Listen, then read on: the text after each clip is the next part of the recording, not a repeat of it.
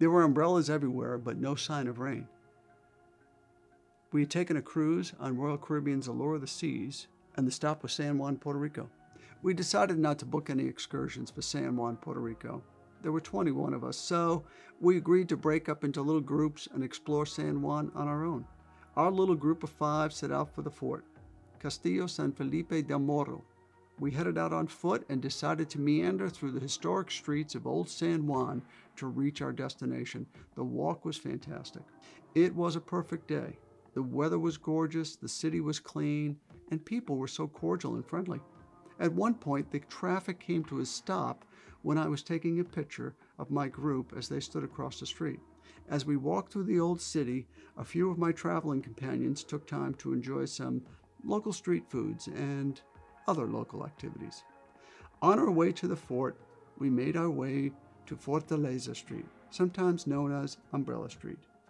What a beautiful, narrow, quaint little street it is.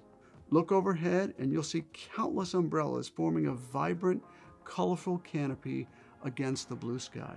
The colors were spectacular. On hot sunny days, the umbrellas also provide a bit of shade to those walking along its cobblestone streets. And, as if the umbrellas were not enough lending to the intrigue of the street, the governor's mansion is located at the very end of the street. You can see the gates in the photo. Depending on the time of the year you'd visit Fortaleza Street, the umbrellas may not be there. In the winter months, the umbrellas may be replaced with the Puerto Rican flag stretched out above the street. So, just a heads up check before you make the walk. And many times, tourists are disappointed when they make the walk to Fortaleza Street, hoping to see colorful umbrellas, and they're not there. If you're in San Juan, Puerto Rico, be sure to make your way to Fortaleza Street. I wish we had more time in this beautiful and friendly city.